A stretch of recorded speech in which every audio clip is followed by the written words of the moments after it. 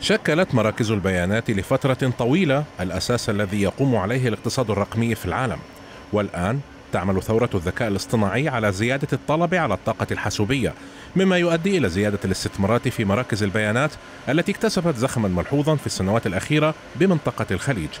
ومن أبرز هذه الاستثمارات التزام شركة أمازون بضخ خمسة مليارات و300 مليون دولار للاستثمار في السعودية إلى جانب تعهد شركة داتا فولت ومقرها الرياض باستثمار خمسة مليارات دولار في مراكز البيانات المحلية. الإمارات والسعودية تهيمنان حاليا على سوق البيانات اقليميا نظرا لأهميته في تنويع الاقتصاد. فبحسب تحليل لشركه ماكنزي فإن الحوسبة السحابية لديها القدرة على توليد إيرادات بقيمة 183 مليار دولار للاقتصاد في منطقة الشرق الأوسط بحلول 2030 أي ضعف ما يتم توليده من صناعة النفط والغاز.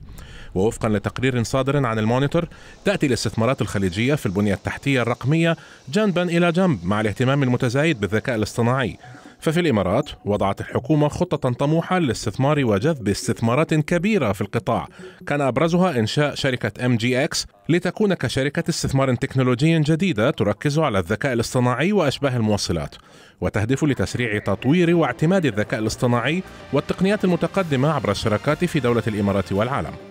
وفرة رأس المال وإمكانات توليد الطاقة عوامل عززت من دور الإمارات والسعودية في مجال مراكز البيانات التي يغذي الطلب عليها الذكاء الاصطناعي وتجعلهما نقطة جذب أساسية في منطقة الشرق الأوسط وشمال إفريقيا للعديد من اللاعبين العالميين.